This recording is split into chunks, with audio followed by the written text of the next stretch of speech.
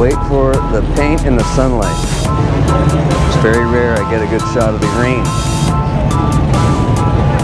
Yep. Green.